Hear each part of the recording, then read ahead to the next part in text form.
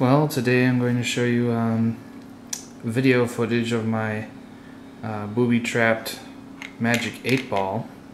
So as you can see, it kind of, you know, just sort of looks like a regular 8 Ball. There's some some scratches on it. Um, underneath, you'll notice I've got a uh, camera flash with the reflector kind of glued in there.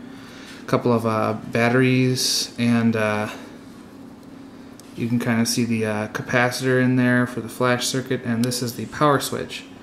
So I'll just switch that on. You can turn it off to this controls the charging circuit so right now this is turned on. And I just turn it upside down. Wait for it to charge up for a second here. Yeah, it's kind of hard to see on video here but I'll do it again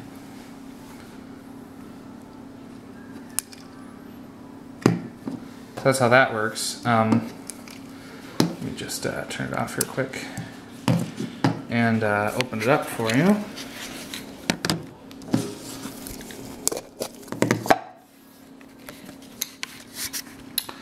Um, these are the insides. You can see I got some batteries. I just soldered them in here because this was just a really quick hack. The uh, mercury um, bubble here I salvaged from a uh, a Honeywell thermostat and when it goes like that it just closes the connection. Circuit board for the uh, uh, flash is here, capacitor, pretty pretty straightforward.